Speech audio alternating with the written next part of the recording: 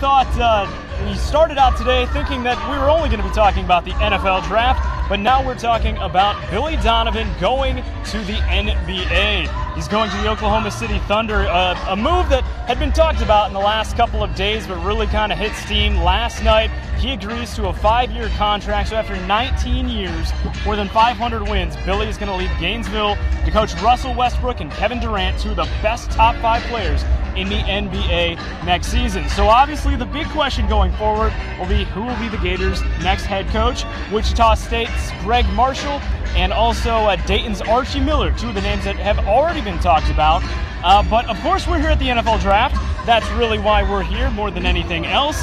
Uh, another Florida Gator could uh, be on the move, but might not be moving that far, and that is Dante Fowler. Yeah, Phil. Dante Fowler, Florida Gators defensive end. He's one of the top picks for the Jaguars, and he has made it very clear he wants to stay here in the Sunshine State.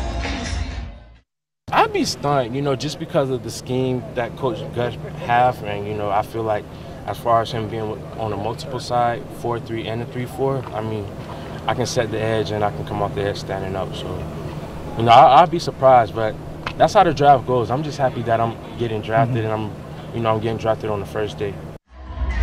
Yeah, and Dante should be there when the Jaguars are on the clock tonight. Yeah, absolutely. Uh, they're going to be deciding between a couple of people right now. It looks like it's going to be between Dante Fowler and maybe Alabama's uh, Amari Cooper, a wide receiver, if they want to help out quarterback Blake Bortles.